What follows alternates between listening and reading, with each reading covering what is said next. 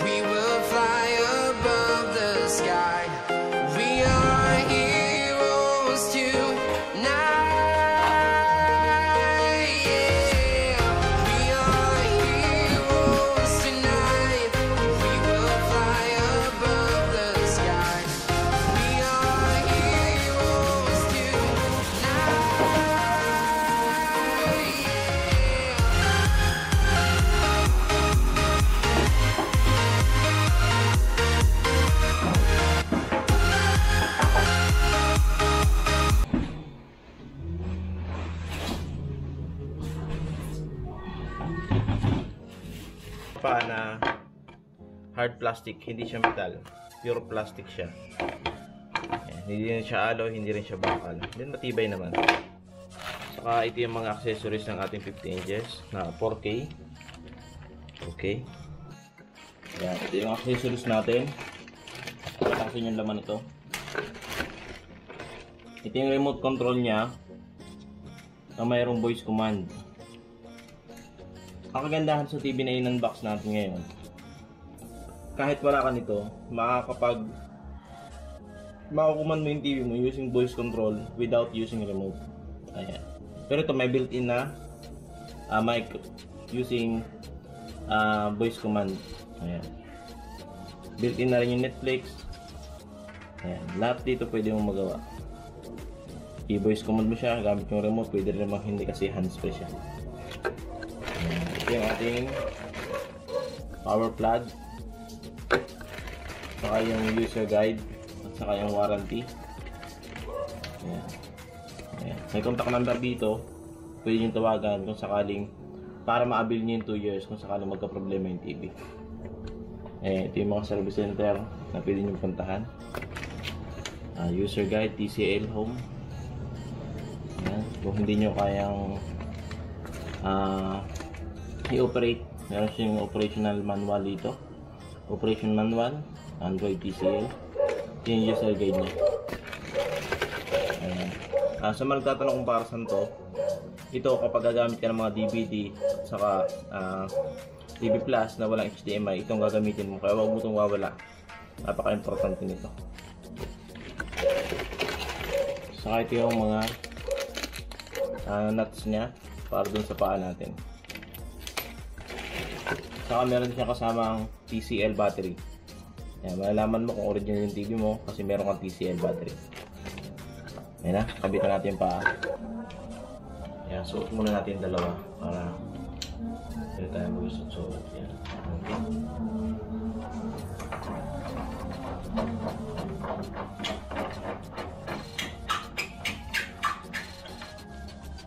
Guys, napakaganda ng TV na to. Okay, quality quality. 2 years yung warranty niya. Saka mas mura dito sa amin. Mag-in lang kayo dito sa amin. Sa may Maya pa akong taga Kalambaka. Maya pa lang kami. Sa may San Jose Hospital, Andaan. Yung dating promo hospital, pero ngayon, hospital na sarado na eh. Sa may Marines Andaan papasok. Huwag kang pupunta doon sa Patino. Kasi kabila yun, Patino. Dito kami sa may malita kali eh. Nice clean na papasok. Bandang dulo kami.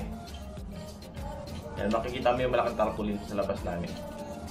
Kaya visit na, marami itong appliances na pwede mong bumili. Napakamura.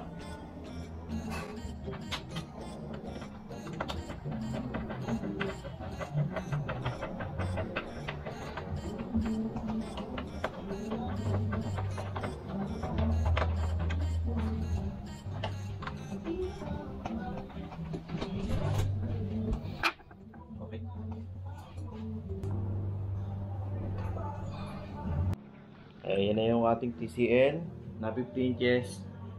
Yan yung model natin, 50 P1 P717.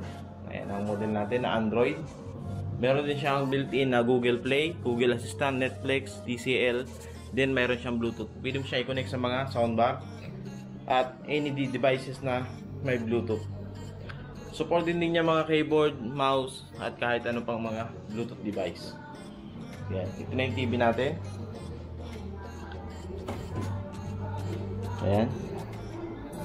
Pakita ko sa inyo yung port niya. Ayan. Mayroon tayo dito yung USB.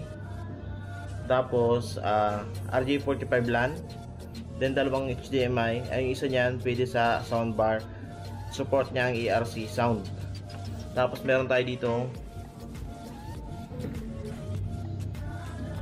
antenna cable. Ayan, antenna, cable air. Ayan, kung wala kang ah, antenna na ano, wala kang TV Plus, pwede mo siya dito. Kasi is built-in na rin yung kanyang uh, for the box. May channel na rin siya, antenna lang yung kulang. Kaya ang tawag dito is all-in T- TCL50. Ayan, lahat mga may klaseng all-in, hindi mo na kailangan ng TV Plus kasi built-in na siya.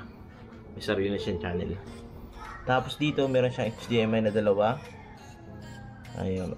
Optical, yung optical niya, support niya yung Dolby Atmos. Ayan, meron din siya dito ah, 3.5mm headphone jack. Pwede sa headset. Ayan. At meron itong yung kulay dilaw dito sinasaksak yung kulay dilaw kasi wala siyang saksakan ng RCA. Ito siya. Dito siya sinasaksak kaya wag niyo itong iwawala. Yan. Huwag niyo siyang iwawala kasi kay, kakakailanganin niyo ito kapag magkakabit kayo ng mga TV, TV Plus or DVD. Ayan. Para siya dyan. Ayan. Kaya huwag niyo siyang iwawala. Huwag niyo na siya i-misplace kasi napakahalaga niyan. Hindi kayo makakabili niyan kung saan saan. Kasi may mabili man kayo is hindi kalidad, hindi quality. Ayan.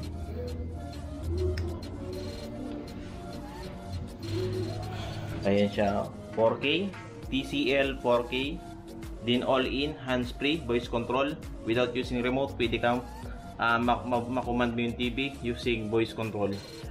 Then TCL channel. Ito yung sinasabi ko sa inyo na hindi na kailangan ng upper the box dahil may TCL channel na siya built-in. Antenna na lang yung kulang niya. Google Assistant din Bluetooth. Ayan. Okay.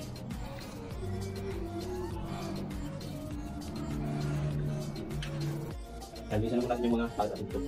Pamilya natin ito.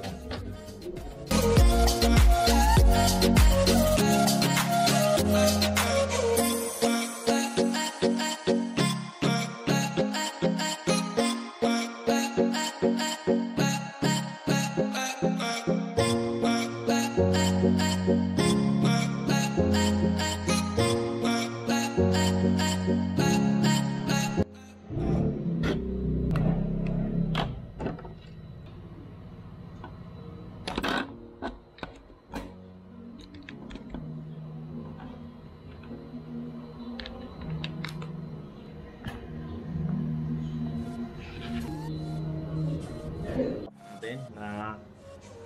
nailagay na natin sa lagayan yung TV.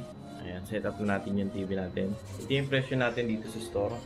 Then may discount pa kapag walk-in. Kapag halimbawa delivers, wala na pong discount, sila po yung discount. Ah, presyo kapag deliver. Pag pick up, may, dis- may discount pa po. Okay, set up na natin. Then on lang natin sa remote yung ating ah, TCL TV. Then magpapapap na yung logo niya, TCL. Hintay-hintayin lang natin.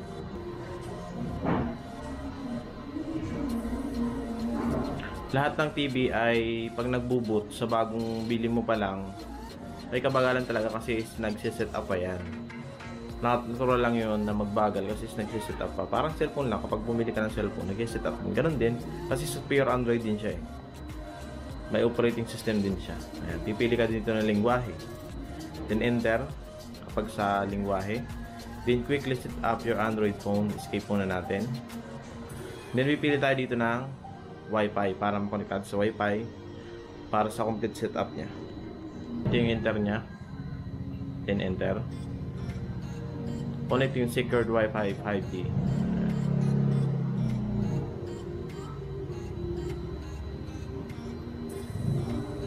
Hintay-hintayin lang natin mag-connect siya sa Wi-Fi. Ayan, fully connected successfully to internet. Please wait. Okay, okay. Kapag mag-assign tayo sa Google, para mag magamit natin yung Google Assistant, yung voice command nito, yung ating remote, ito yung voice command niya, button.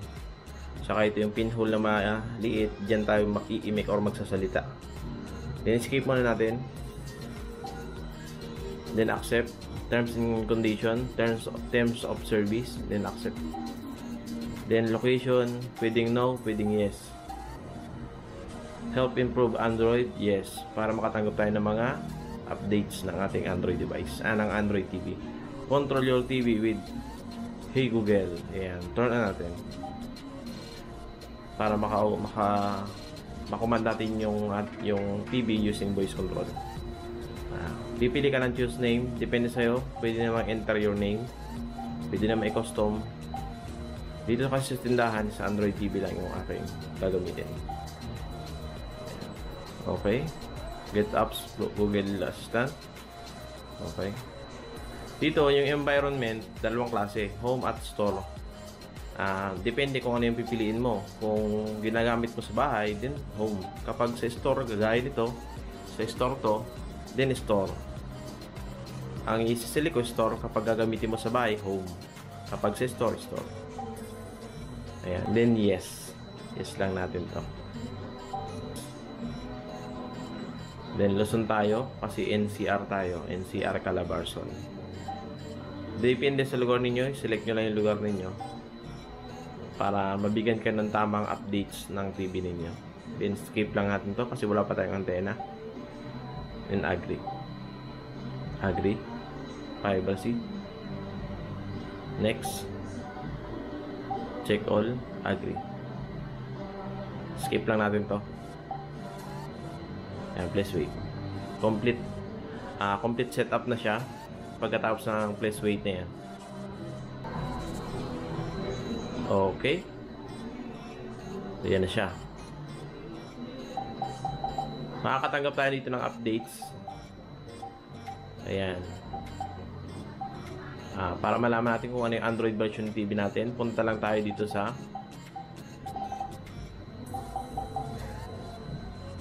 sa device preference. Sa device preference, punta ka sa about. Tapos, hanapin mo yung version, Android version. Ayan. 9.5 pa lang siya pero makakatanggap tayo ng Android 10 kapag halimbawa is meron ng release para doon sa TV mo. Sa ngayon is wala pa. Yan pala yung latest. Kapag naman i uh, mag kukunin ka ng any device using Bluetooth. Uh, any device using Bluetooth dito. Sa settings uli balik ulit ang settings then remote and accessories. Then add accessory. Ayan. then okay. Ayan. after nyan search niya for accessories makikita mo yung ano yung enable na bluetooth na device na meron ka sa inyo or meron ka sa bahay. Ayan, makikita then connect lang. Ganun lang siya Okay. May Bluetooth na siya, built-in Bluetooth na. Then kapag gusto mong i-reset, ganito lang uli. Then punta ka settings, then device preference, punta ka lang dito sa pinakandulo. Ayan, yung reset. Then factory reset, then erase. Yan. Papasok mo yung enter your pin, yung 1, 2, 3, 4. Pag napasok mo na yan, automatic magre-reset na yung TV mo. Hintayin mo lang At wag mong i-unplug yung TV hanggat hindi nabalik sa dati niya sa dati niyang ulirat or sa dati niyang program. Wag ipa wag i-unplug para hindi masira yung TV. Wag matakot o wag mag, wag kabahan, hintayin mo lang na bumalik. Ayan at okay, complete setup na yung TV natin. Ayan po, sana po marami kayo natutunan sa aking video. Maraming salamat po. at please subscribe sa my YouTube channel.